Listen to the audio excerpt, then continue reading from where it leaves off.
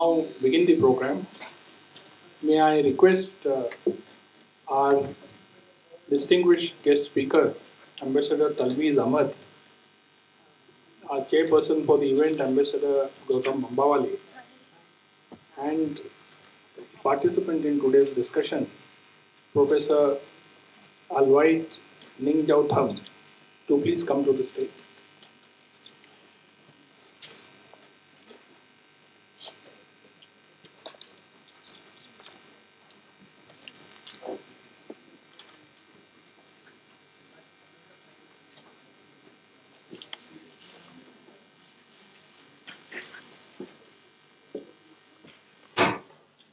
Thank you. Namaskar, and welcome to this book release and discussion program on Ambassador Talmiz Ahmad's latest book, West Asia at War Repression, Resistance, and Great Power Games at the Pune International Center. I am Abhay Vaidya, Director PIC.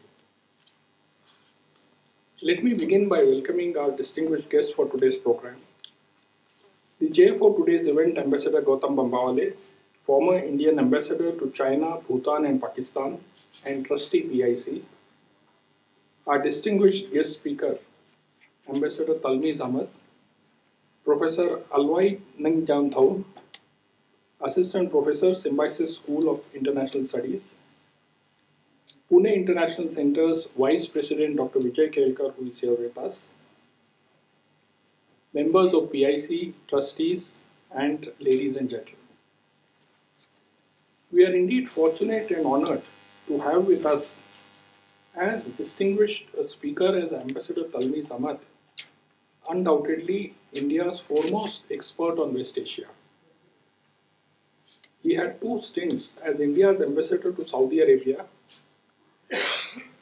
was ambassador to Oman and the UAE, held diplomatic posts in Kuwait, Iraq, and Yemen, and was the head of the Gulf and Hajj division in the Ministry of External Affairs. His latest book of 500 pages has 75 pages of notes and references. He has dedicated this book to the eminent Arab scholar Edward Said, Israeli scholar Shlomo Sand, and to his mentor and diplomat turned politician, Mani Shankar. Mr. Aiyar has called this book encyclopedic in the vastness of its ambit and the micro focus on key historical, political, religious, and economic developments in each of the nations of East Asia.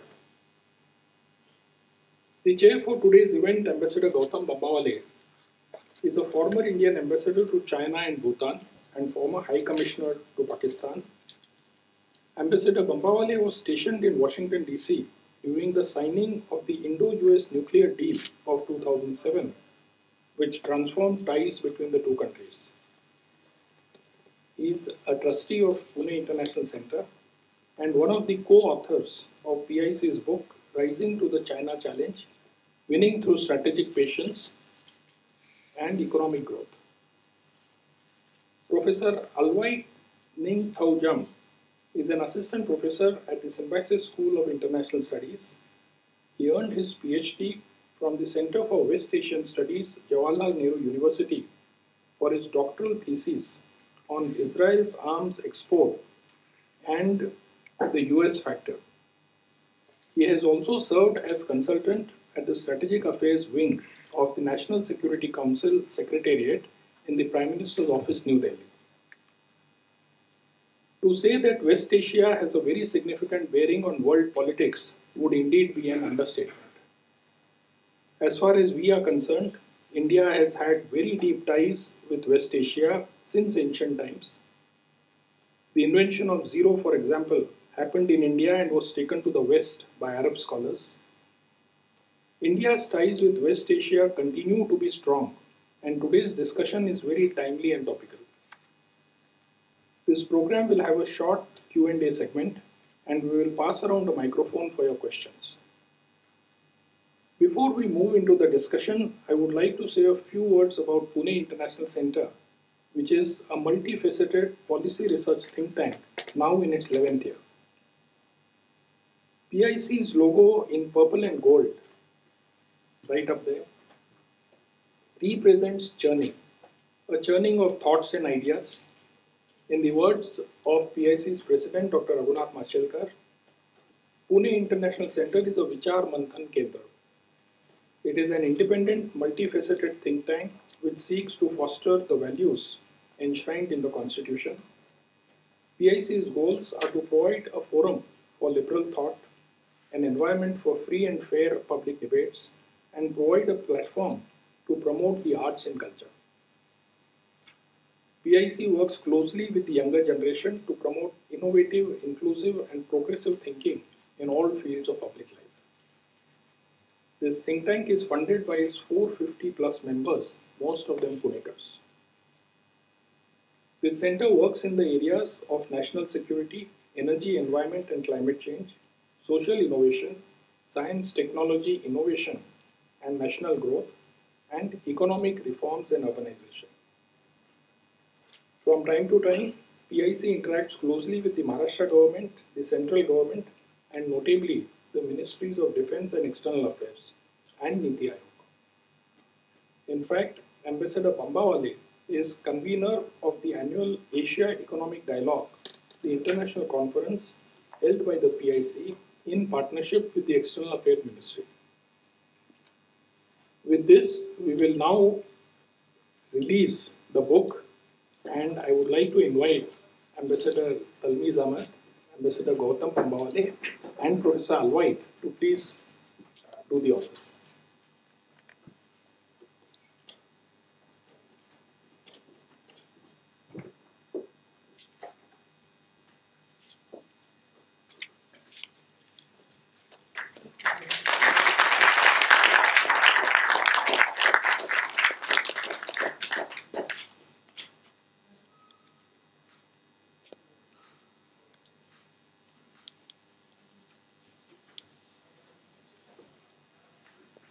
Thank you.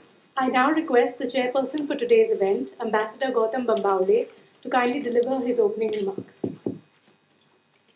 Thank you. Uh, I hope all of you can hear me. Good. Um, let me first of all start by thanking all of you for coming out because um, Pune International Center is just slowly beginning to have some kind of physical events. Today's event is actually what Abhay describes as phygital, which means it's partially physical with a few people inside the hall and also digital with a large audience uh, over Facebook and uh, it's being live streamed to them today. So thank you for coming here and thank you for being with us this evening. Uh, let me start by saying that I have known uh, Ambassador Talmiz Ahmad for several years and I knew that anything he wrote, a book of this kind, would be of the highest order and of the best magnitude. And when I went through this book over the last few days, and I must confess I have not read every word, uh, but I have speed read the book and, and got the main points, uh, it is absolutely magnificent. It uh, looks at West Asia, actually, it looks at what he would describe in the book as West Asia and North Africa so what we in the Ministry of External Affairs of India used to call as WANA, W-A-N-A, West Asia and North Africa, he uses the term West Asia as a sort of uh, uh, you know shorter ter shorter terminology to describe this area, this geography.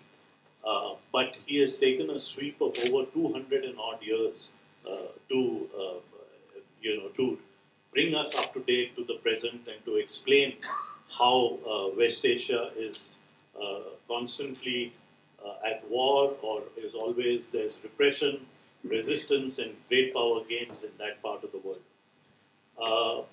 As far as I am concerned, I really don't know much about that part of the world, having never served there. I traveled there as a diplomat for certain uh, meetings and events, but Ambassador Talmiz Ahmad has spent large amounts of time not only as ambassador twice over to Saudi Arabia, but also in the United Arab Emirates and also as a junior diplomat in that part of the world. So he's really, as I described him, an expert of this uh, particular geography. And going through the book, reading the book was absolutely stunning for me because I could see that he had taken a long sweep of history to explain what is happening in that geography today. Um, I am not going to talk too much about that. I'm just going to mention one or two things about India and West Asia. We all know that that part of the world is very important to India because a lot of our imported oil comes from that geography. We know that uh, there are about 8 million Indians who work in, in West Asia and North Africa and send back uh, remittances every year of anywhere from 30 to 40 billion US dollars, billion with a B. So these are very significant amounts of people, these are very significant amounts of uh, capital transfers which take place every year. And therefore, uh, it's absolutely essential for India as a country, uh, and, and it's a very integral part of that, uh, of the world, the way we look at it.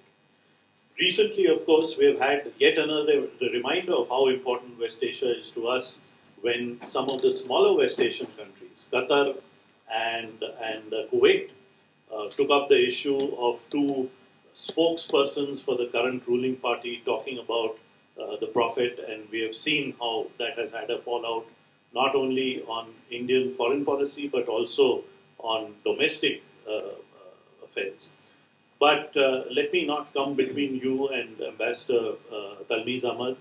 Uh, let me also just say that uh, on the, if you look at the big picture, I think over the last 20 odd years, including during his ambassadorships in those uh, countries, UAE and Saudi Arabia, India has steered the course with West Asia reasonably well. Today, we are fairly close to both Saudi Arabia as well as the United Arab Emirates. And one example of how this relationship has developed is the fact that a contingent of the UAE army marched down Rajpath on 26 January a few years ago. So that's how it has transformed, and that's how we have got closer to uh, the countries, not only in the Gulf but also in North Africa.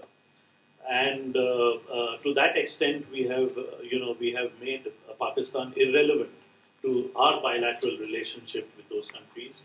And in fact, if you look at the pure economics of it, India is a much more important economic entity uh, than our Western neighbor.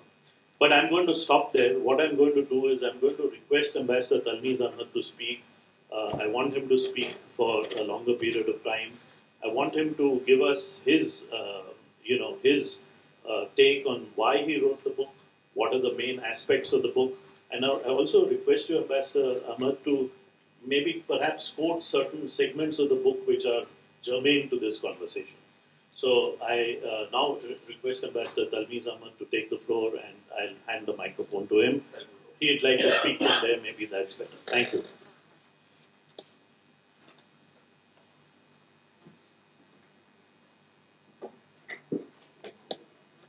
Thank you, Gautam. Distinguished guests, ladies and gentlemen. I'm extremely flattered so many of you could find time to be here. I'm very, very grateful to you. This city is very special to me. I came here in 1967 at the age of 14 and I went to school, college, and, and university here. I appeared for the IAS exam while I was doing my master's degree. And I have nurtured in me a very deep affection for this city and indeed for this state.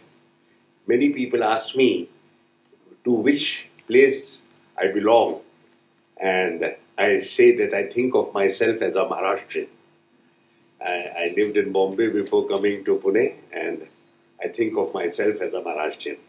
I speak extremely poor Marathi, but I am a very enthusiastic speaker and I am constantly reprimanded for extremely poor grammar.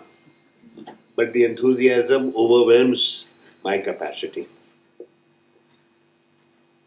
This book is a product of the pandemic, hmm. on the one hand, so last one and a half years, and at the same time, it is a product of an involvement with this region over more than three decades, nearly four decades. I was the first Muslim officer in the Indian Foreign Service in 1974 after a 10 year gap. And without any application of the mind, the ministry gave me Arabic as my language.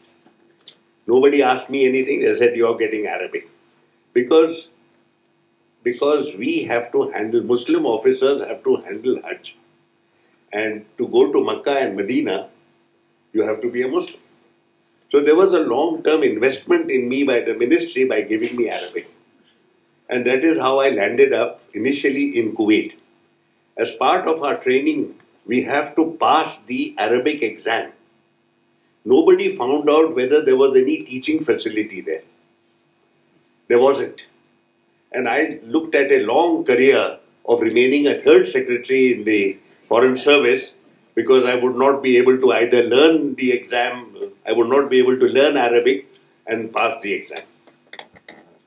I was deployed in the consular section, and my entire effort was to support the mission's efforts in terms of our of our uh, I mean in terms of our outreach to the community. As a result of the oil revenues that had flooded this region, the number of Indians had gone up. So from about 1500 the number had gone to 5000, 7000, 8000, 10000 and it was beyond the capacity of our embassy to take care of these burgeoning numbers. And since in those days we could not create posts and we could not transfer posts between missions, I was sent as an additional hand in the ministry. Uh, I mean, uh, I was then sent as an additional hand in the embassy, and that is what I did. And we used to sit in the consular section, and a very large number of maid servants would come to us and we would interview them to find out if they were being treated well. I had not yet completed. I then hired a private tutor who taught me Arabic. The book prescribed by the government of India for Arabic had been published in 1875 or 1880. It had gone through several editions after that, and finally it landed with me it was possibly the first standard or second standard basic text which had been studied by young Arabs about a century earlier. And that is the Arabic we were supposed to read. It was hardcore classical Arabic. The tutor that I had said, I am not going to touch this book. It belongs to another century. Even my grandfather doesn't speak like this. That is my textbook. So you can imagine it was a very long and strenuous and stressful period to pass this exam. I had another experience. To pass the exam after I had learned something, I had to prepare for the written exam. So in those days, there used to be a compulsory essay question, and the previous several years had shown a pattern which said, my family, my brother, my classroom, my school. And I prepared those essays. The actual paper, when it arrived, said the first essay topic democracy and socialism. I could not even read the title, much less write about. I didn't even know enough in, in English, much less write it in Arabic. The other topics were similarly esoteric India's democratic experience, fundamental rights in India, etc. There was one topic that saved me Indian cinema. I knew that. And my essay read as follows Indian cinema very good. Indian cinema very big. Indian cinema good actors. Indian cinema very colorful. Indian cinema very popular. I passed the exam at 65% marks. That is the origin of my involvement with this region. Then I went to Baghdad, I went to Sana'a, and absolutely I loved the region. And I went very deep into its history and politics. And constantly, so the ministry found that their investment had worked. Here is the fellow we needed. I was sent to New York. After all these postings, I went to New York. In New York, I had hardly been there a year. I got very bored. I had nothing to do. I was in the consulate doing commercial work.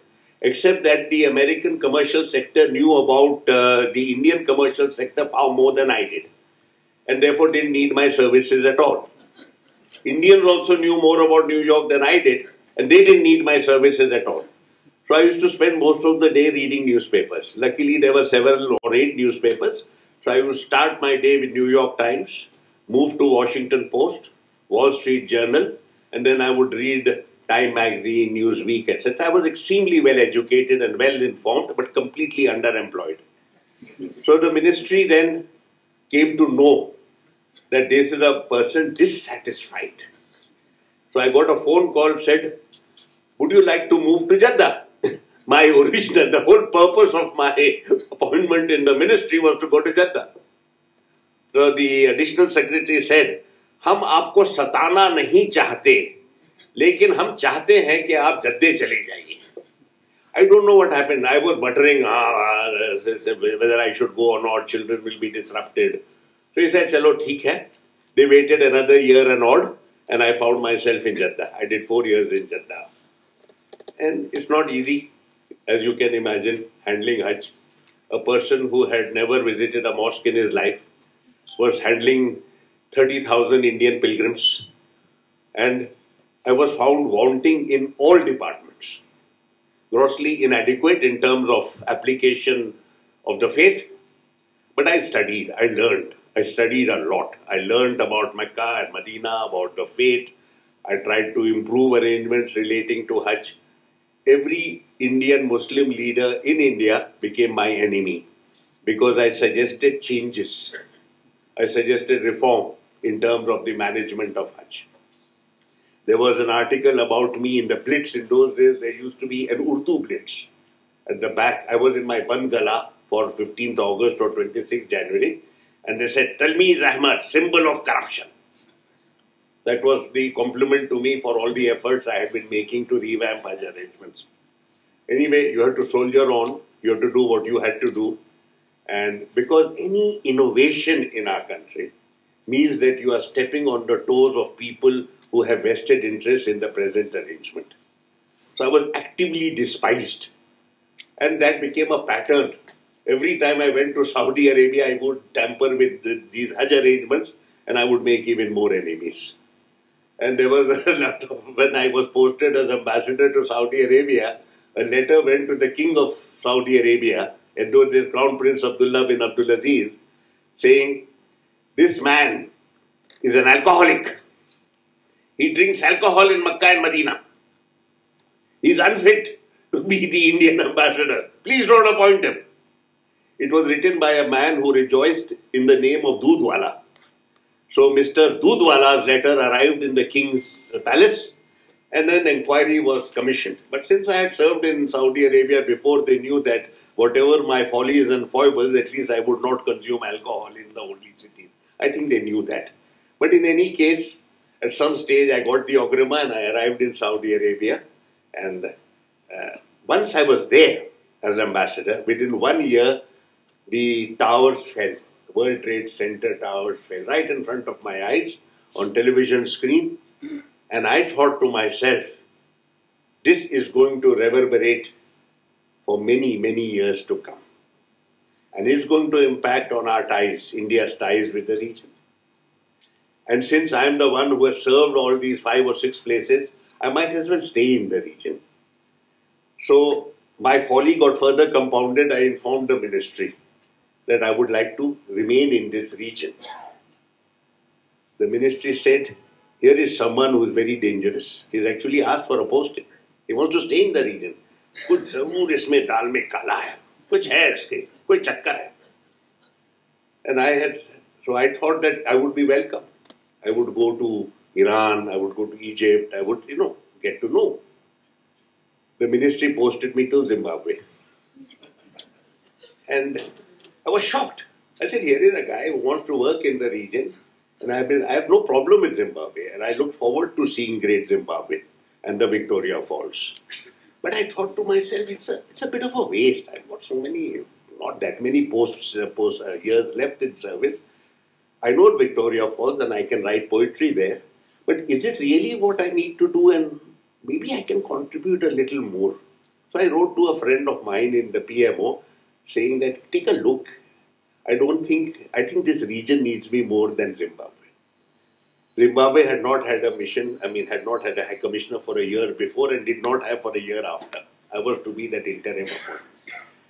So, review was done, councils were held, people were consulted, and finally, I got the appointment in, in, in Muscat, Oman. Not because of any merit of mine, because my predecessor had done something seriously foolish. It is very rare in our service, but it happens occasionally. So the ministry, in its wisdom, called him and gave him a far better appointment. And I was told, you go to Oman now. And I was told on the phone, you say yes now, otherwise you're going to Zimbabwe. So the story of my specialization in the region has this background. But you have to soldier on, as we know.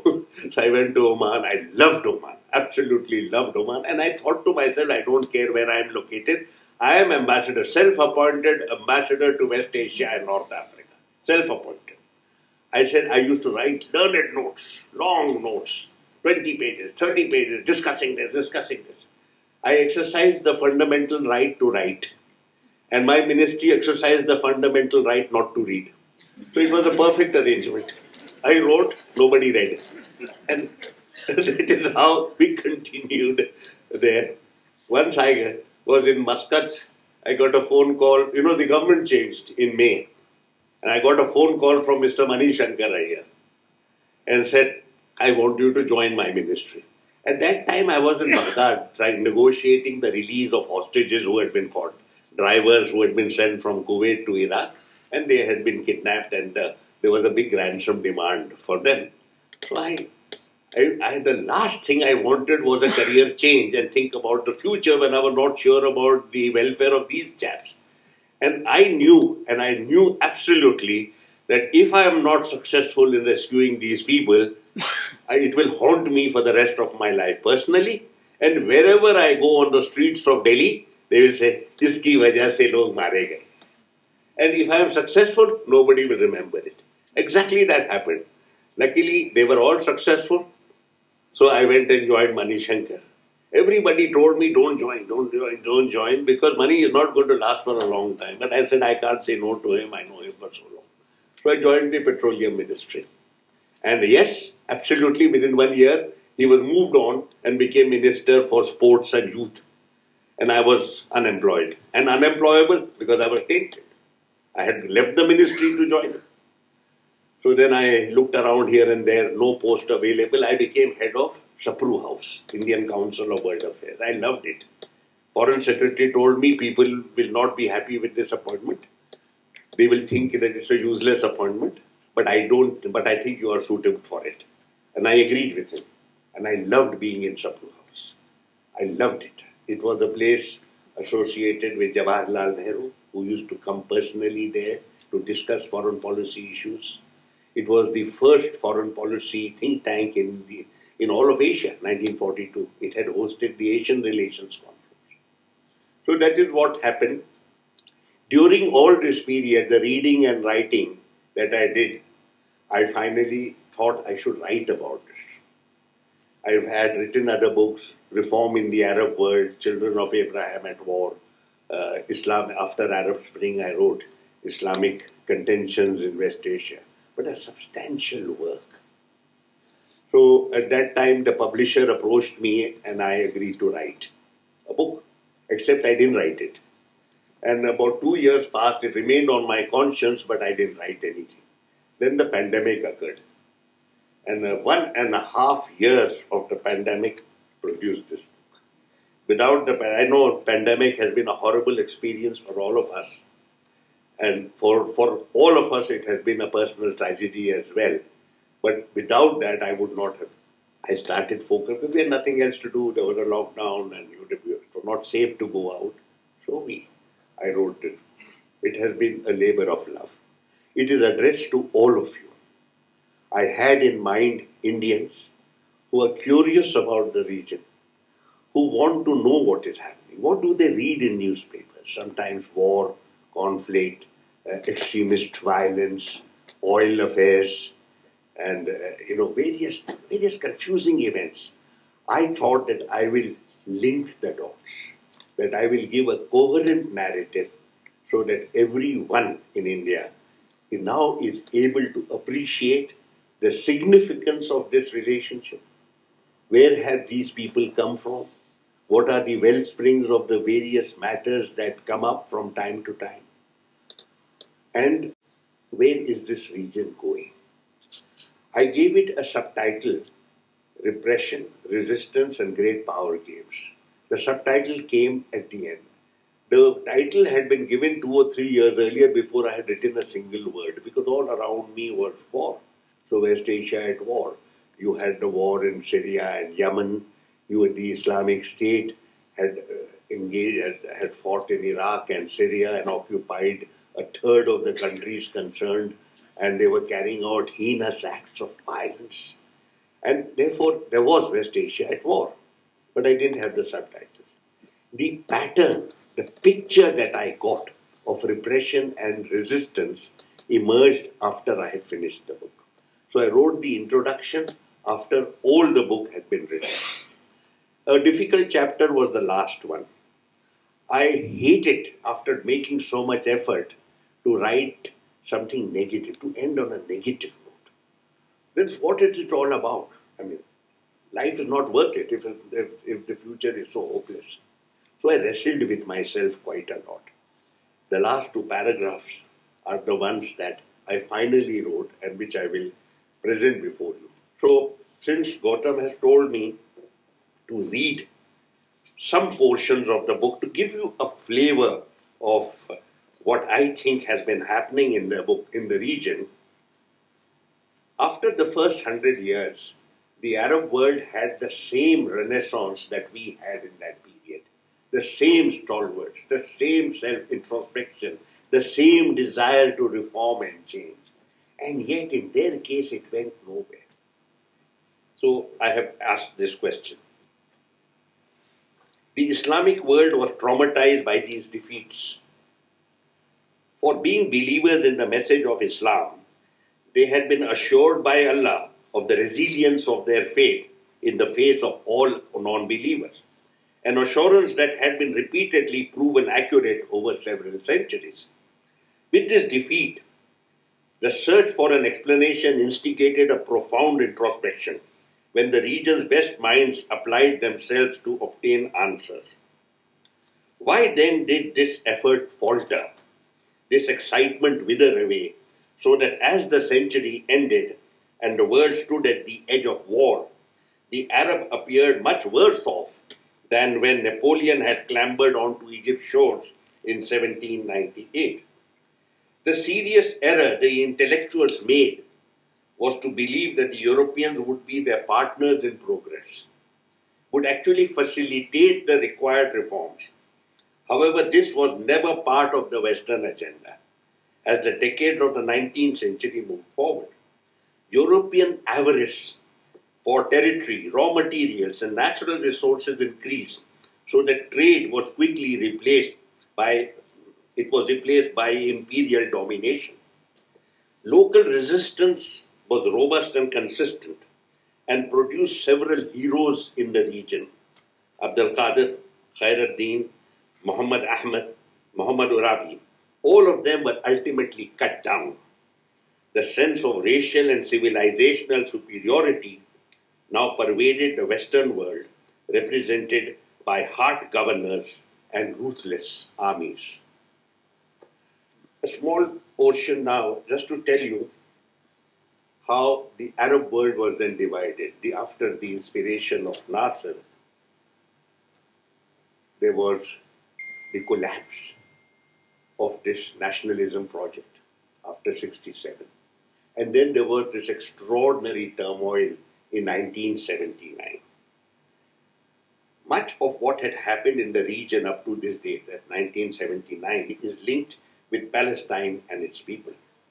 The period began with the Nakba, catastrophe of the 1948 war, moved 28 later, uh, then moved 20 years later to the bigger tragedy of 1967, when all prospects of Palestinian redemption were permanently lost and ended with the Arab states resolutely moving away from the, uh, from the vision of transnational Arab fraternity. They shifted then to assertions of narrower commitment centering on the state. The very states that had been so casually drawn on paper by Sykes and Picot and given life by the Versailles Agreements of 1919 to 2022. Two, they had suited the immediate aspirations and interests of two imperial powers, Britain and France. As the Palestinians became a lost cause for other Arabs, what did the non Palestinian Arab do with the newfound opportunity to shape independent statehood?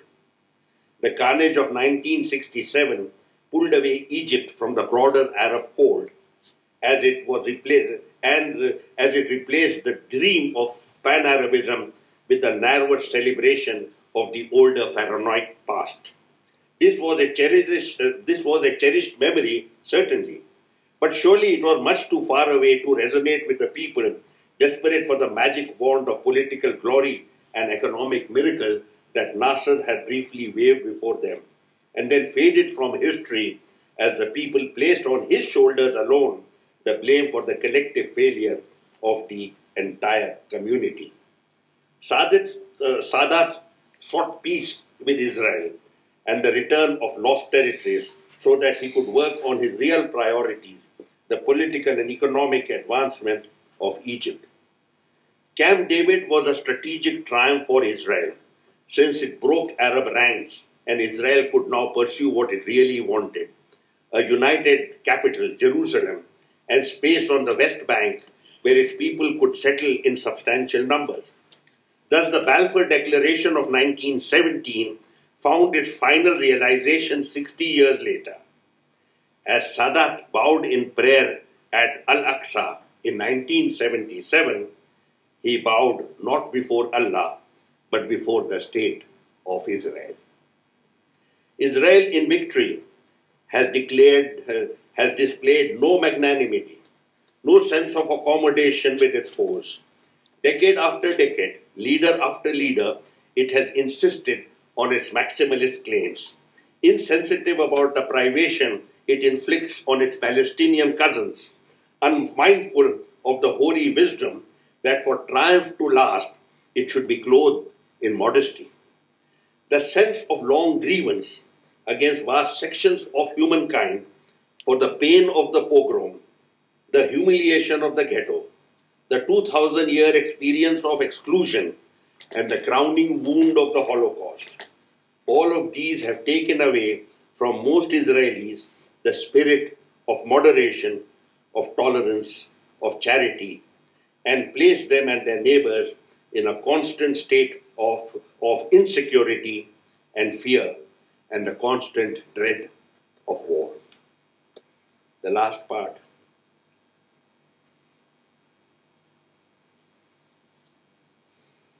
What then, what then does West Asia look like now? After a hundred years, not a single Arab state provides for any modicum of popular participation in state decision making. National financial accounts remain non transparent and without accountability. Though oil wealth is depleting, its revenues are still being used to back state efforts at co option and coercion, the latter now becoming more open, more crude, more vicious, and more frequent. Can this change? Every parameter of state order analyzed by experts suggests that this system is not sustainable. But there is no indication of who or what will be the catalyst for change. State powers have offered no evidence that they can lead reform from the top and carry their people to the life they deserve as, as citizens.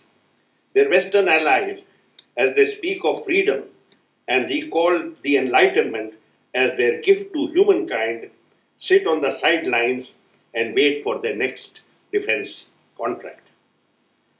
But popular resistance remains vibrant as demonstrations across the region voice popular discontent with their plight and deeper unhappiness with their sense of being excluded from the march of history towards participation in governance as free citizens. As, as free citizens. This spirit is best exemplified by the resistance of the Palestinians.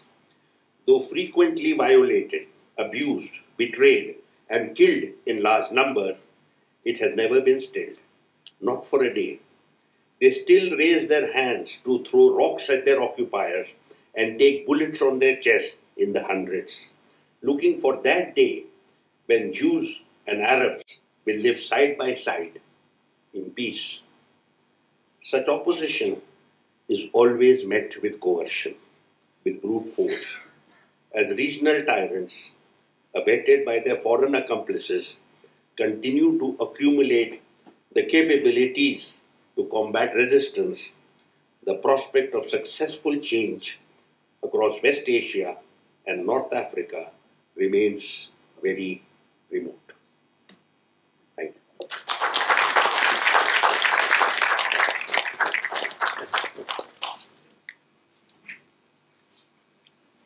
Let me, let me quickly hand the microphone to Alvite, who is our discussant for today, and let uh, Alvite throw up some questions which Ambassador um, Talmiz Ahmad can take on.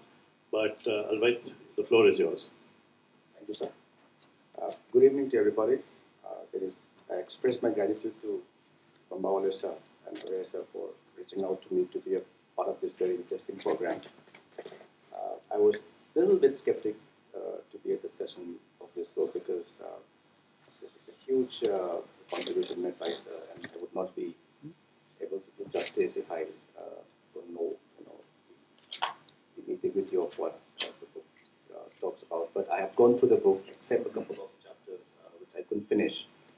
Uh, but then uh, it's uh, the title of the, top, uh, the book is very catchy, and as mentioned by Ahmad sir, he has given quite a bit of his explanation why he has chosen this title.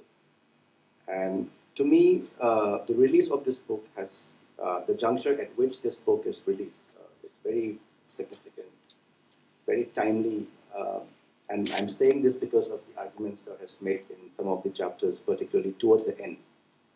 Uh, I completely agree with what Sir has mentioned that the last bit of the, uh, of the chapters is pretty uh, intriguing.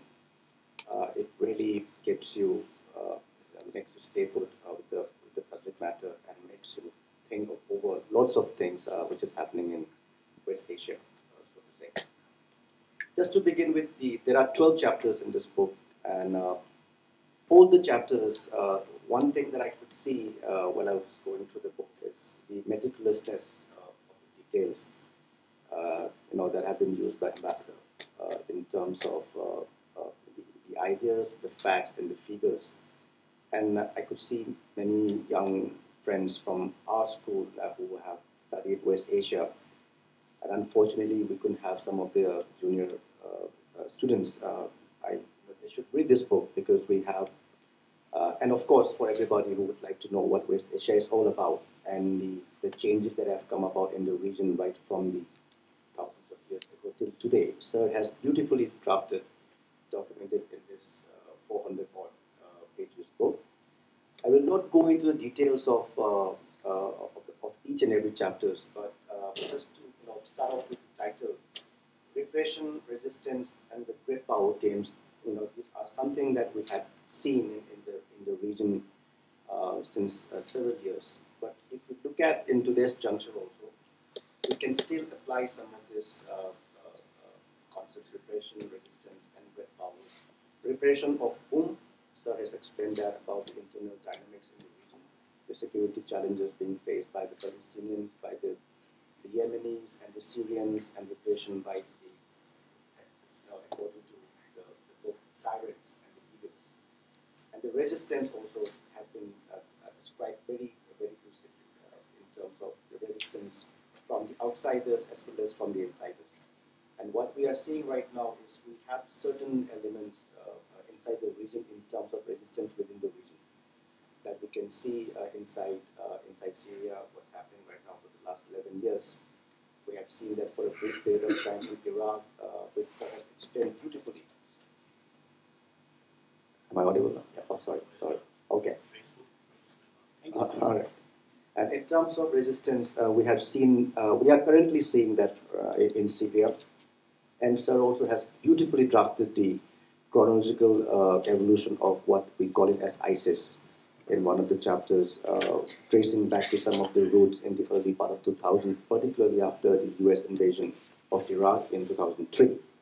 And then we have this great power games, and this is something which I really uh, which I found very interesting. Uh, and Sir hasn't explained that, uh, you know, he has taken a journey in, in almost all the chapters uh, to explain what Great Power Games is all about in West Asia. Uh, particularly earlier, we had seen how it was a battlefield for the Soviet Union and also for the UK, and the US came a little later. Uh, particularly after 1950, particularly from 1950s onwards, and the US had begun to establish itself as one of the biggest uh, player in the region from the early part of 1970s. But if you see today, uh, there is also a, a, a, you know, a perception that the U.S. interest in the region is in decline, and which we have found a mention of in this in, one of the chapters when Sir talked about uh, the, uh, the perceived decline of the United States and why. But at the same time, there is also some sort of a, a simultaneous uh, making of another bloc being led by, say, Turkey, Iran, and Russia. China is on the one hand, uh, but on the other side, you have a grouping being led by Saudi Arabia, Israel, and some of the Sunni Gulf countries, uh, which is uh, you know, going to be an interesting game in the region right now. Uh, we are going to see whether it is going to be a competition between the major powers or is it going to be a competition between these blocs. But at the same time, what have what I found very interesting is uh, the realignment of relations. Sir has talked in a uh, few chapters about the geopolitical realignments in the region. Uh, while we have seen uh, uh you know lots of problems between uh, Iran and Saudi Arabia, Turkey and Saudi Arabia, and the other Gulf countries since 2017 and since 2016, particularly with Iran and Saudi Arabia, there is also a gradual process uh, uh, being made or steps being made by these countries to reconcile uh, in the last few years and in fact in the last few months. We have seen number of visits between the leaders from both the sides. so there is a continuous process of evolution, uh, geopolitical evolution in the region. And as we say, for some of us who have been studying the region and who have been the student of this region for the last many years, there's never a dull moment in West Asia. And whatever we see uh, cannot be predicted. Whatever unpredictability is the word uh, when we talk about the geopolitics of West Asia. Uh, who would have thought that uh, the, the, the, the, Israeli prime minister would be a few days ago, or who would have thought that uh, you know there would be this sort of a, a, normalization between Israel and some of the Arab countries uh, from the region and also from north, northern part of Africa. Uh, one of the chapters, that is the last chapter when Sir talk about the malaise, uh, the social malaise and the political malaise. I found the chapter very, uh, very interesting. Why I'm saying this is because as much as the, uh, the, the, the, particularly the Gulf countries are trying to go for a reform in order to improve their image, uh, in order to change their perception, outside perception of who they are actually, there is also a very latent uh, uh, potential uh, uh, time bomb which is ticking inside the region. That is in terms of the social political reforms, socio-economic reforms, which countries like Saudi Arabia is undergoing right now. Uh, Ahmad Sir has mentioned about the Crown Prince of Saudi Arabia and his Vision 2030 uh, initiative. Uh, with a little bit of you know reading that I have done, I could also agree you know with what Sir has mentioned that it is you know, taken to be more of a one-man show, trying to fulfill his own desire and his interests, rather than taking into consideration a wider uh, interest of the public. And he, I think, very well knows the fact that, which Sir, which Sir has mentioned in the book, that uh, there is a potential challenge, uh, which may not be the case right now, but in the long time, there could be a potential challenge from the wider Saudi public that is also the reason why he has tried to uh, garner the support of the youth uh, who are not uh, uh, very much you know attached to the traditional values but would want to be on par with some of their peers in different parts of the world. Something we call it modernization or westernization, uh, which is not very much the case in Saudi Arabia uh, since the last uh, many, many years. Uh, another chapter that is on US, rightly mentioned again at the beginning of the, the, chapter about the uncertainty of what Joe Biden is going to be doing in, in, in, in West Asia. is it going to be finally out completely uh, because they have another headache in, in, in the Indo-Pacific region, would like to invest more resource and would like to invest more uh, uh, ideas to, to tackle certain problems coming out of China. Uh, so that remains to be seen. And Sir has mentioned about the uncertainty of what Joe Biden is going to be uh, doing in West Asia uh, in the times to come. there are a few questions which I would like to pose to Sir. question in the sense that some sort of a you know idea uh, firstly, uh, it's about the, uh, Sir has mentioned about how, you know, the region in the Red Sea area has become a little bit militarized in the last few years. Sir talked about HOPE, Sir, the Initiative of Maritime Security. there is a there is a construct there is there is a planning being done by Iran to increase the uh, you know the naval presence in, in, in the Red Sea by having some sort of a you know uh, a group uh, like-minded countries to be a part of the program. But at the same time, you have the international maritime security construct, uh, which has begun by the United States in the same region. So how do we see, uh, are we going to see some sort of a competition in this region uh, in terms of you know, naval powers competing for uh, access to the sea and controlling the maritime sea route, or is it going to be just a mere exercise and also for the benefit of the entire region? Uh, this is something I would like to know from uh, Ahmad sir, uh, because in the last uh, three to four years' time, we have seen a number of uh, activities in, in the Red Sea, uh, which could have flared up, which could have really destroyed or disrupt the international maritime sea trade between different different countries. So, how do you go about? Uh, should, you want to respond this first? And, right.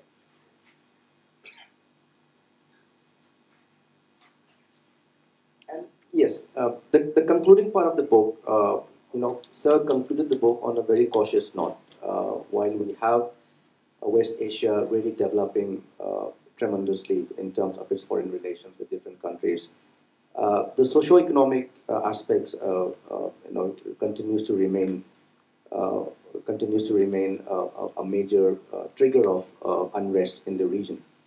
So how does CERC see that uh, having served in almost all the important countries, uh, Oman, UAE, and uh, Saudi Arabia, particularly in Oman and Saudi Arabia, there were already signals coming out during the Arab Spring also, but then uh, we didn't see and hear much about what the internal uh, security has done to suppress uh, the, the uprisings from coming out in the public. And also another aspect on the Jordanian monarchy. I found a mention of Jordanian monarchy being shaky right now. Uh, you know, because if you see in the region, countries like Egypt, Jordan, uh, play a very important role uh, in terms of uh, uh, you know uh, setting the setting the differences between Israel and Palestinians and Hamas. But how does Sir see the evolving nature of the rule inside Jordan? so I'll leave that for now, sir. once we have the answer, then Uh, what I want to do is now let's have a conversation, not just between the three of us, but all of us. Let's open it up. Oh, I'm going to hand the microphone to Ambassador Ahmad to answer some of these questions. I'm going to add one or two questions of my own. But as soon as that is over, if any one of you wants to jump in, just put your hand up and we'll allow, let's make it a larger conversation in this entire auditorium so that we, we have a discussion amongst all of us. Uh, I have two specific questions, Ambassador Ahmad, uh, taking off from where Alvite ended. Uh, one is, you know, especially the last part that you read was very depressing because Asia is rising and West Asia should also be changing towards participatory politics. But I think in your book and from what you read to us, uh, this you don't see this happening. So am I right in making that assumption? Am I right in making that conclusion? That's question number one. Question number two is you have uh, touched upon the Quad, and I'm not talking of the Indo Pacific Quad, but the second Quad, or the Quad 2 as you call it, which is Israel, India, USA, and UAE. Uh, any future of, in that? So I'll, I'll hand that. I'll hand the microphone to Ambassador Ahmad. He's going to take some time in answering all these questions, but I do hope to see some hands raised from amongst you. I'll, I'll come to you in a little while. Yes. Very quickly, the first question is about the maritime scenario from the India, across the Indian Ocean, but specifically the Arabian Sea, the Persian Gulf, and the Red Sea. For far too long, the Persian Gulf has been the center of competition and conflict. And it was meant to be the trigger for any major region wide conflagration. But I would add to that now concerns relating to the Red Sea. Red Sea also has Bab al Mandeb at one level, at one end, and the Suez Canal at the other. Alarm bells relating to the Red Sea should have sounded when the ship blocked the Suez Canal for six days and caused billions of dollars of loss. That means we have got used to free passage.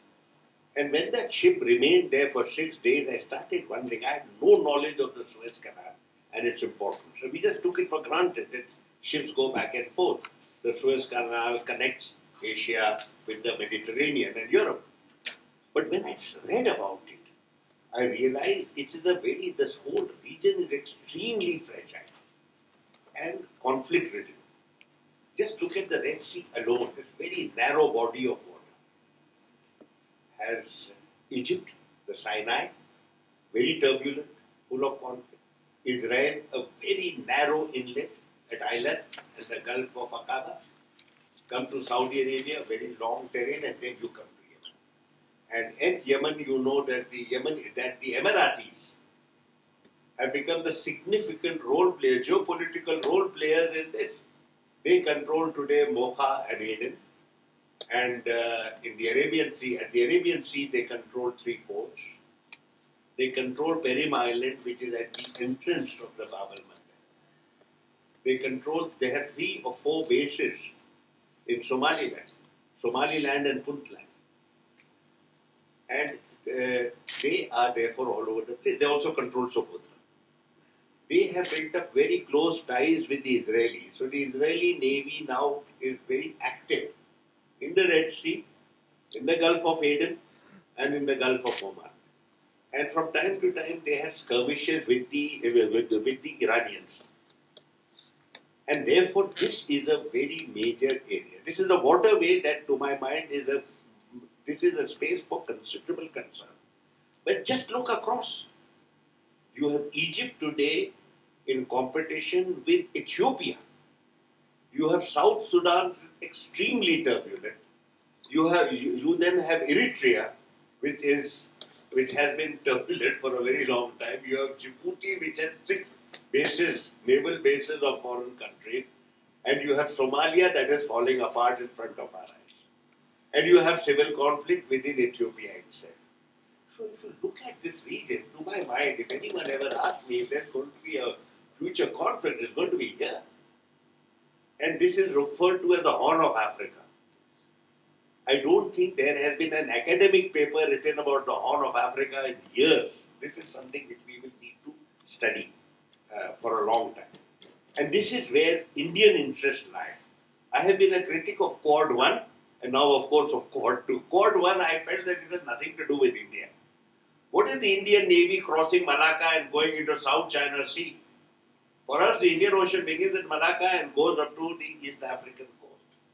A crucial space of, of strategic value for India is the Arabian Sea and the two waterways of uh, the Persian Gulf and the Red Sea. And this is where we have to focus, not Quad 1. Quad 1 is an American construct. And the Americans are fully capable of taking care of their interests. And of course, in order to remind us where the crucial interests lie, they have got AUKUS. So Australia, UK. UK, which has gone away from us, has got two crippled ships roaming around the Indian Ocean pretending to be a big power. And this is what you have. Let them do AUKUS. Let them do what they wish. I personally see, uh, personally see it as no strategic value, but the Americans selling their weaponry to these Australians. Australians have paid nearly a billion dollars in fine to the French because they cancelled the contract to accommodate these Americans. And these, uh, these uh, submarines are going to come to the Australians in 2040. Great strategic value. Thank you. Now, India, we, where does, what is India's maritime interest? And where, what are we doing about it? If anyone knows, please do guide me, but I'm not aware. For India, its strategic interests end at the border of India. This is the way I have seen it. I know there is a separate, different song being sung elsewhere, which speaks of the great nation that has emerged under a messianic leadership. But I am deeply concerned because I don't see any strategic vision. I don't see a longer term plan for long term Indian interests. Important matters are taking place right around us and we are nowhere to be seen. I have rung alarm bells with regard to Russia and China spreading all across Eurasia. Look at the connectivities they have already established. And we are not there. We have to, this is the challenge for it. We have a challenge in Eurasia and we have a challenge in the Western Indian Ocean. So if anyone were to ask me what is the outlook for India, this is the space that we should be looking at.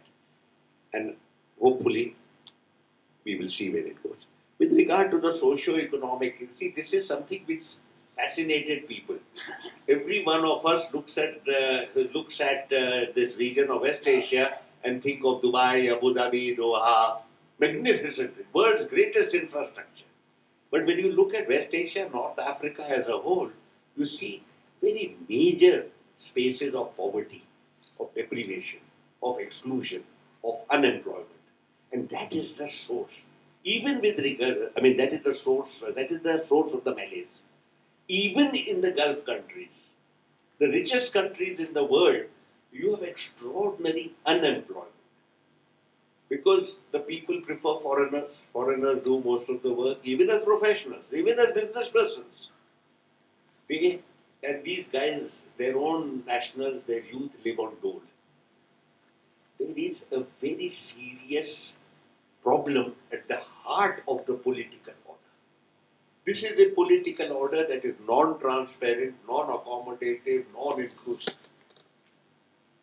Is it sustainable? And I have argued in my book that it is not sustainable.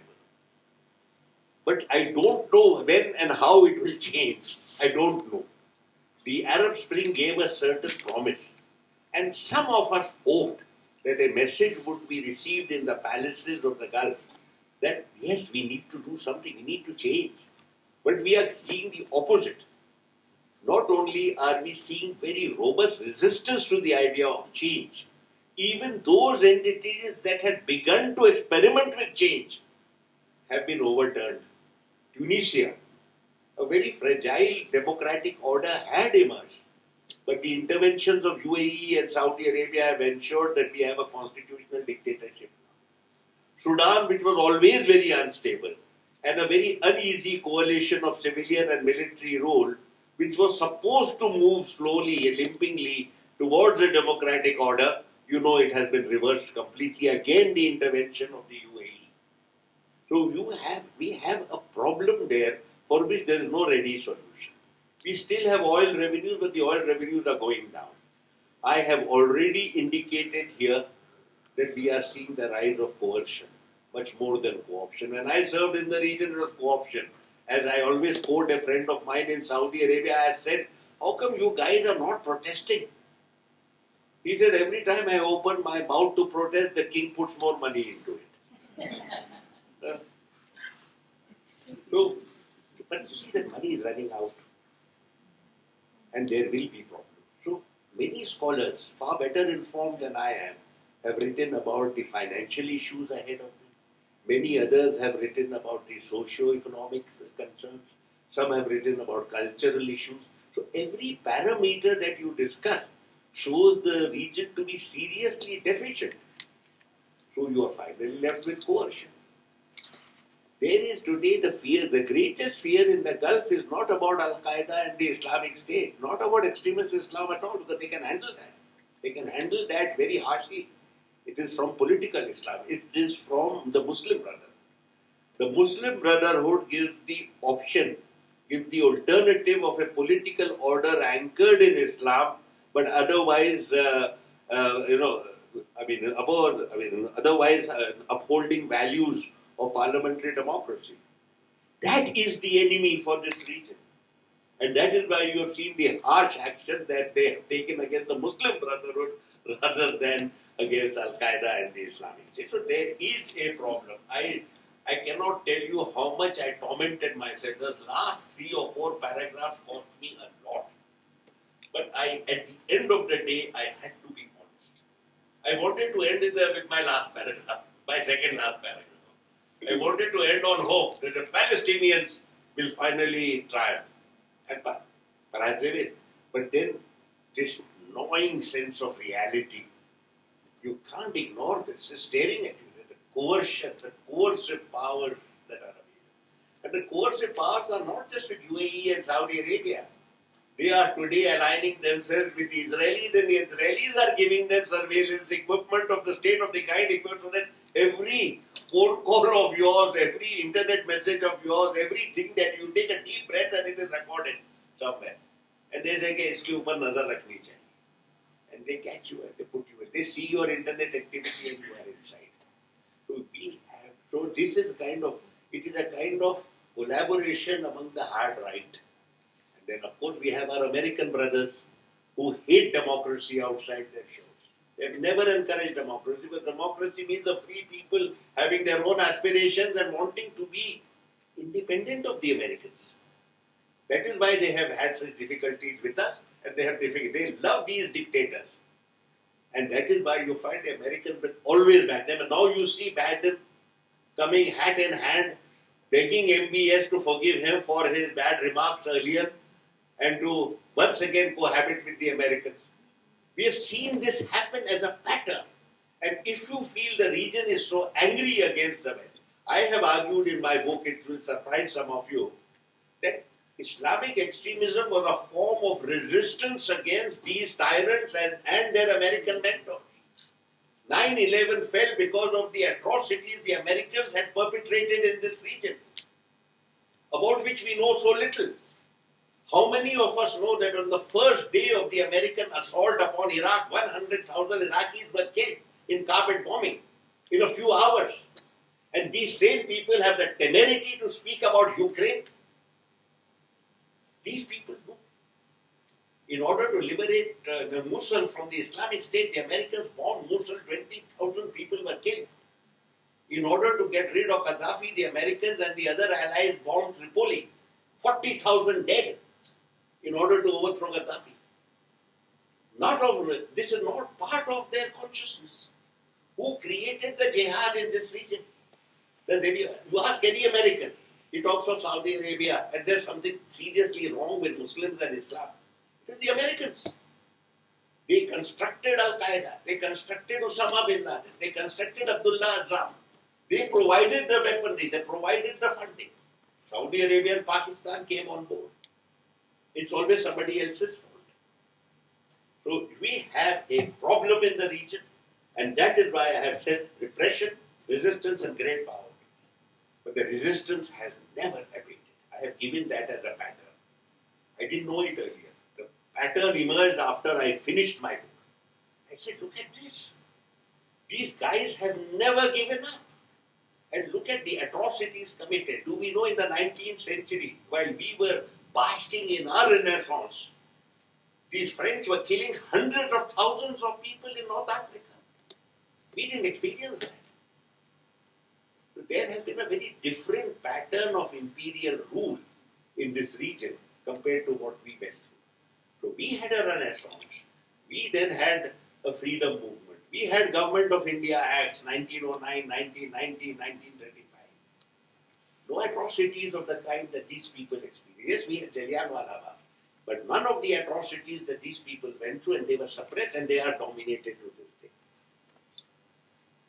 Therefore, you ask this question, which is what it is linked. Asia is rising and West Asia is not. You know, I have a, I must, as you were asking, I got even more depressed.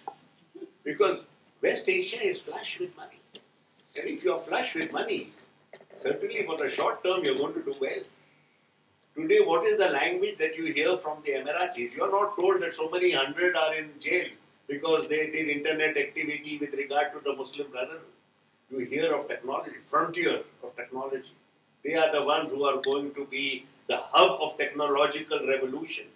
These are the guys who are going into space. They are going into cyberspace. They are going into IT. So they are a very robust hub, the Emiratis. Only thing they ask of you, don't get into politics. Leave politics to the royal family, the rest, everything you have a place have. What is happening there, if you look at, if you scrutinize actual change, the commitment to technology that began 10 years ago was meant to transform the Emirati. What they have done instead is to recruit several million more foreigners. No Emirati has changed. The Emirati is not more technologically qualified than he was 10 years ago. The foreigners are doing his work as they have done before. So the outlook is very mixed and complex to me. It is, on the one hand, according to me, inherently flawed, inherently weak. It is like a hollow shell. But on the surface, it glitters. It's likely to glitter. And that is what they are tapping into. If the Saudis have a conference for these, uh, for this you know, investors conference, the who's who of the international community will show up because they want those billions of dollars and don't mention the enlightenment to us. That's what they do. You go where the money is. So money is there. It will be there for some more years. So you will have this dichotomy of glitter on the one hand, extraordinary glitter on one hand, and a deep-seated malaise on the other. What to, don't ask me.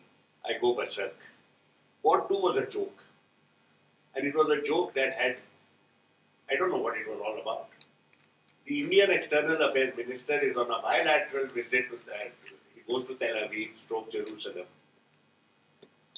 Three people, UAE, Israel, and have gone to the United States a week earlier. There has been a meeting of foreign ministers.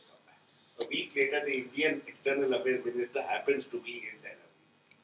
Suddenly, there is an online meeting for two hours of these four countries. Three have already met live, in person, in Washington. The fourth gentleman, our minister, happens to be there and it's an online meeting. Look at the briefing that was done. What to? India is the solicited partner. Everyone wants to partner India. Today, the region has joined India against China. China is the closest friend of all of these people. Where is China? Uh, the world has uh, joined India against China. An Arab wrote, no, no. India has opted with the Gulf countries against Iran. No mention. It was a chimera. It seemed like an alternative reality that was being discussed. So I wrote over there. I had to discuss it because it happened while I was finishing the book. And as I finished with it, I said, this is an embarrassment. It is theatre as an end in itself, I wrote. But thankfully, the theatre will end because the entire show will sink into its own irrelevance. Exactly that has happened. Nobody has heard of Quad 2 from October last year till today. It has gone into the irrelevance that it is. We must take a few questions from the floor. We're running out of time, really. But I, I see a hand. I think Mrs. Patgaonkar had a hand up. So if we could give her the microphone. And then there's a hand up at the back there. So if we can give the lady at the back, one of our students from Symbiosis. Yes, ma'am. Uh, hello, Mr. Ahmad. I've written down four words, and those were meant uh, as four questions, but I think a couple of them have already been, uh, you've already tackled them. But what you haven't told the audience is about the great power games. You've only done it on the surface. That's number one. Number two, I would also like your idea about why this Arab Spring has just diminished and died out. Is it something in the Arab character that uh, is this, is for this? Thirdly, I think in your book you spoke of narrow nationalisms. So if you could speak a little bit about narrow nationalisms. And lastly, and lastly, uh, once we had had a discussion and I had spoken about rise and falls of civilization according to the French theorist Fernand Braudel. And it seems to me that what is happening in the Arab world today, in the Muslim world today, is after a period of when really flourished in every domain. It uh, flourished in the arts, it flourished in mathematics, it flourished in navigation, it flourished in astronomy, in poetry, and it was had conquered a large parts of Europe and now it's a shriveling civilization. Shriveling civilization. We couldn't figure out what was the last reference. Is it about Iran? No, no. I was saying that there was a time, right from the 8th century up to the 14th century or so, when the Arab civilization, the Muslim civilization, Arab civilization. aha, was really at its height. And it glorified the world with the different fields in which it excelled. I got it, yes. You know, whether it was literature, arts, music, politics, whatever. It ruled a part of Europe. And today you get the feeling that this civilization is on the decline. You get that feeling. So it's a kind of a civilizational wave that has gone up and has come down. Just uh, and then the last thing is I found that a lot of the references that you had in your book were basically Western authors. Basically Western authors. Western authors. The people you quoted, Western authors. yeah, were basically Western authors. I don't really agree with that. Uh, lots of references to Arab and other authors. But anyway, please answer the question. like Can, can we go to No, I'm the uh, person at the back? Uh, easier to read Western authors than to read Arab, Arab authors. in I, I, I was spot. Point. Uh, good evening, sir. I'm Samanya. Firstly, congratulations, sir, on the launch of your book. And uh, my question was that uh, where talks about reviving JCPOA, and Iran's been on the offensive. There are also reports that Iran is on the verge for nuclear breakout. So, what do you think would be, what does it mean for the collective future of West Asia? Is my question.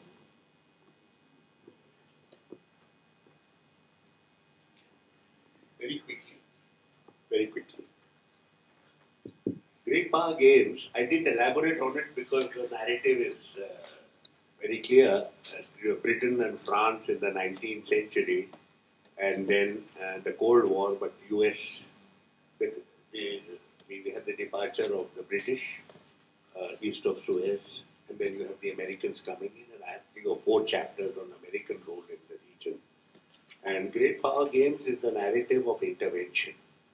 Intervention by subverting normal political processes in the region and asserting their own interest.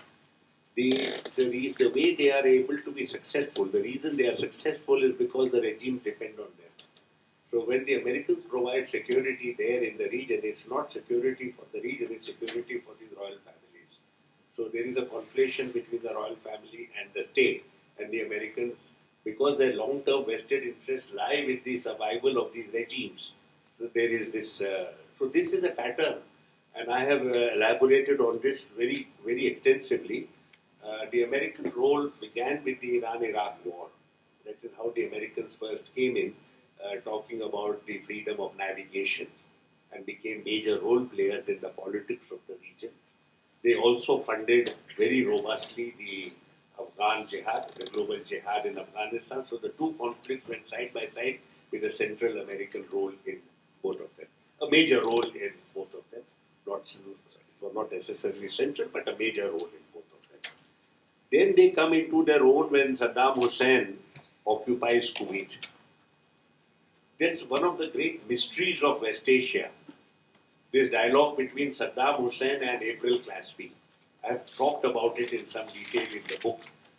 That is, US ambassador Saddam Hussein asks her, What is your view about my claims on Kuwait? The answer that April Glaspie gives is absolutely bewildering. She says the US has no views on that. Our considered view has been that these matters should be resolved within the framework of the Arab League. And I have been given these, this was what was told to me when I was a young officer, and this has been repeated to me by James Baker, Secretary of State, which means it's a recent instruction she has just got. Can you believe this? Can you believe that the United States, it is so intimately involved with West Asia, has no views about Saddam Hussein's occupation of Kuwait?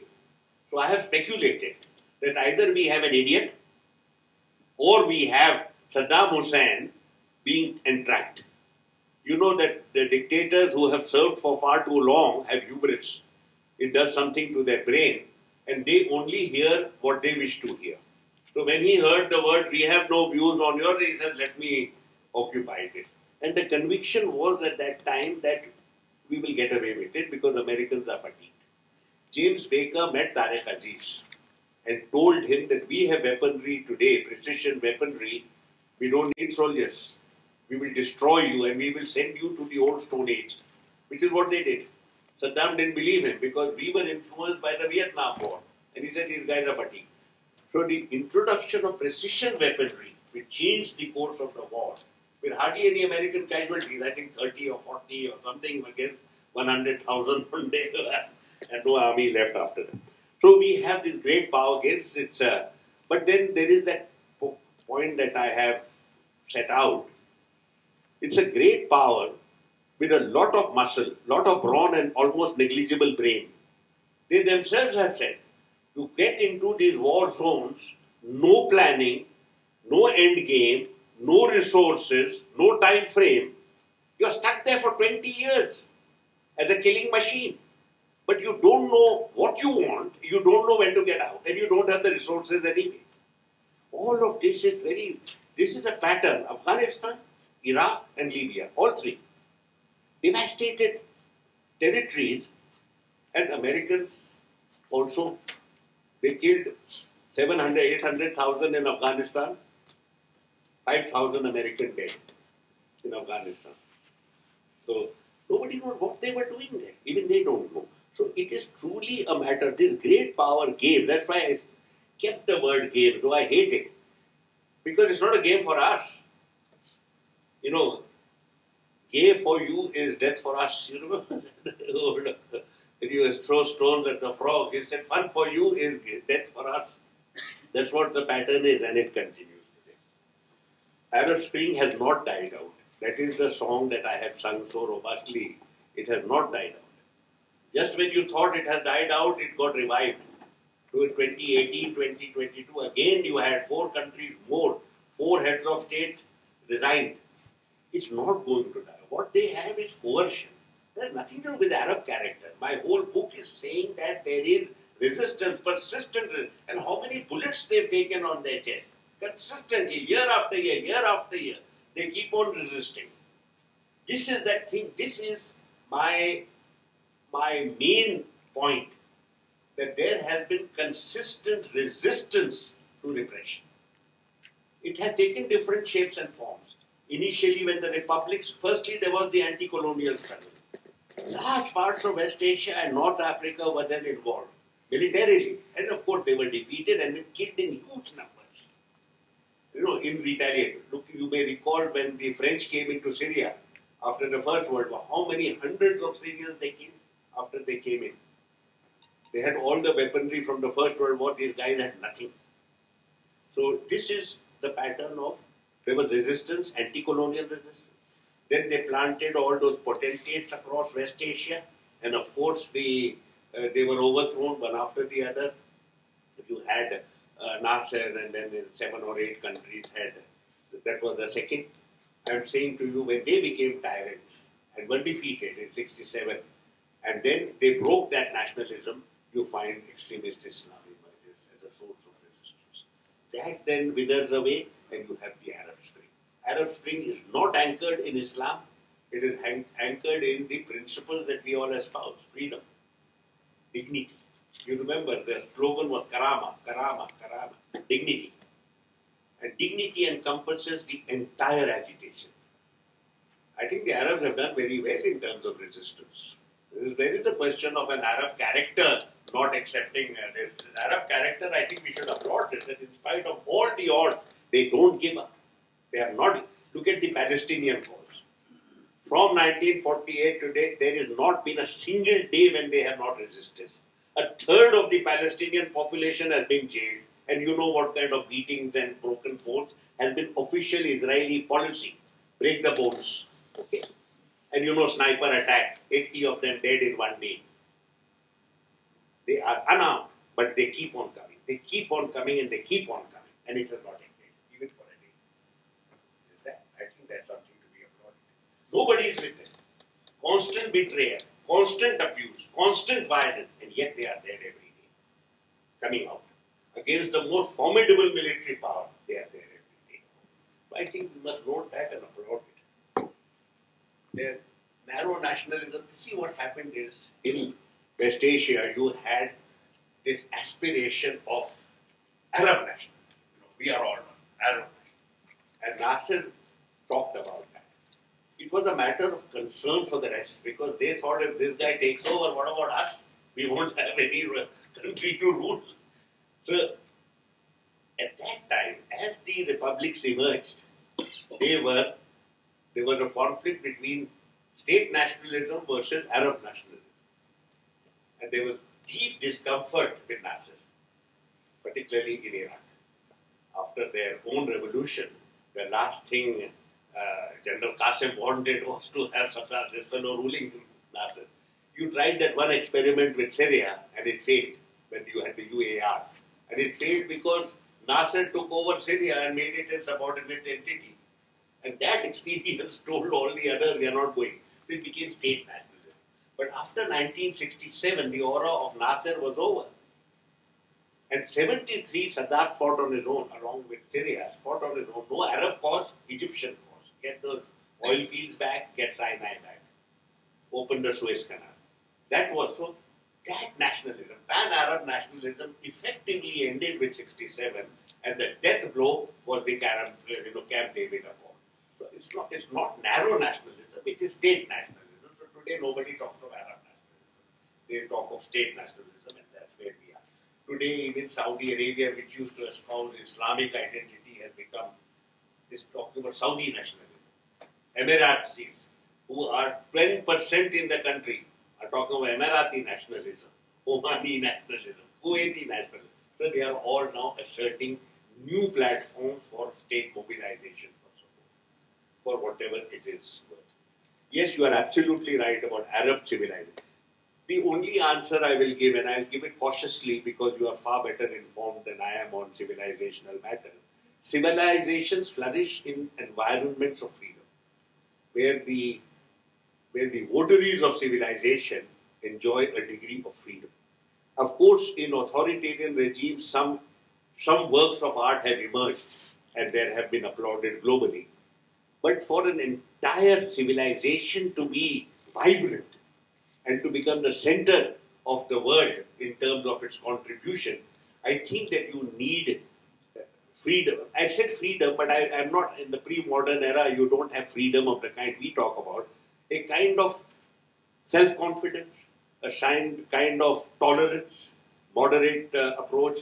You see, in the period of the Ottomans at their peak, the Mughals at their peak, uh, the Safavid at their peak, all of them contributed to world civilization when they were vibrant, when they were successful, self confident. Imperialism ensured that does not. After that, it has withered away. Today, you have tyrants. They scrutinize every article you write, they scrutinize every book you write, you, they scrutinize every piece of art you produce, you, they scrutinize every film that you produce. Where are you going to have a civilization? You don't have. It is curdled under repression, hence repression. It is, I don't think you can have a vibrant civilization. Now, the exception is Iran. That's why I thought you were asking me about Iran. Iran is a mystery. You, you could talk to the audience about Iran separately. Iran is not the tyranny of the kind these others are. It is a very complex entity where you have a combination of a commitment to broad Islam, the revolution, the revolution, and you find certain constraints, and yet you find the most outstanding literature today in that region is from Iran. Best cinema is from Iran art from Iran. So I think I need I don't know enough on this subject to dilate on this more. I think that something one needs to reflect on. In what environments do you get artistic expression that becomes of global value? I think uh, we need to compare. Say Saudi Arabia has produced nothing in last 200 years. Nothing, absolutely. Oman lurches towards some kind of accommodativeness. You had a Booker Prize winner. But I want to add one point. Because of absence of translation, we are discussing translation a lot in our country these days. Arab women writers are very, very articulate in Saudi Arabia, both as short story writers and as novelists. But we are not familiar with their literature. I have read some extracts, they are very, very powerful. And their writings are very hostile, very angry about their predicament, about the life they. They don't talk about absence of freedom and tyranny of MBS and others, about the tyranny they suffer in a patriarchal order. So that is very much it. About Western authors, you are right. Much of the writing that you find on West Asia is from Western sources because I am comfortable with the language. I, I have tried my best to get uh, Arab writers, and many of them whom I have found are actually in Western universities. Most of those who write in West Asia, they write under controlled conditions. You can't have the best foreign policy discourse of the kind you and I would like and which I would be able to quote is not helpful. It's not helpful. I mean, what are you, what are you going to get? You get the official line on almost everything and that official line changes because of something. So yes, you are absolutely right. At the same time, I would say that my book is a non-Western perception, very robustly, actively, harshly non-Western. And I'm a very harsh critic of Western, what they have done up to now. So to that extent, the perception is non-Western, even if I have quoted from Western sources. The other thing I have done is whenever I have discussed Israel, I quote Israeli sources. Otherwise, they will easily rubbish my work and say, JCPOA, I think JCPOA is, we don't know which way it will go. You get a signal from the Americans that they want to conclude it. You get a signal from the Iranians they want to conclude it. There's a lot of war of, of misinformation also going on. I'm not sure which way things will go. I get the sense that on both sides there is very strong desire to conclude and the other day I read an article from uh, from Israel, which had been opposing the revival of the JCPOA, saying that Israeli leaders are today satisfied that it will be approved. It will be approved because you would rather restrain Iran's nuclear program rather than give them the freedom and then have to bomb them later on and create a regional conflict.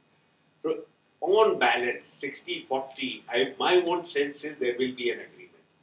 Now, what you are reading in the media is very, very tortured. I mean, it's very difficult to know who's saying what and why. Both sides, there's a war of information, which is not the real thing. Uh, so I really don't know. Because there's a lot of, you are posturing for domestic constituencies. Biden looks, I dare I add the word, pathetic. So he has to look good. He's facing an election in a few months. He loses that election, he becomes lame duck in two years. So he has to look macho.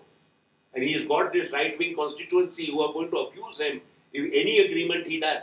And if he's shown to be conceding something to the Iranian, they're going to rip him apart and beat him at the election.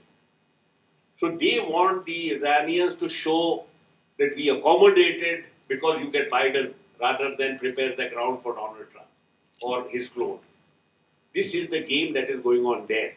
In Iran also you have a similar problem. You have the IRGC which is very, very upset with the killing of Qasem Soleimani and now this colonel who was assassinated. Israel has the right to kill. As I keep on telling you, James Bond could kill one at a time. The Israelis can kill uh, several people at a time. License to kill with impunity. They have that. Americans also have it and Israelis So this is where we are. They are upset. They say that, you know, we should not concede anything. Foreign office says we should concede. Let's get the agreement. Let's get some sanctions. We know in two years' time there is going to be the Republicans again in the White House and this agreement is going to be closed. For two years, let's get something going, get some of the money in, try to ameliorate the economic conditions at home and we'll see after two saal ke baad kya hota hai. So you have lot of intense debates going on at home today in a very fraught environment. You. We have run out of time. Thank you for your patience. And uh, let's end with a round of applause for.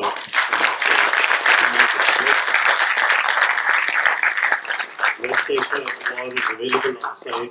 Thank you all. Thanks for being with us.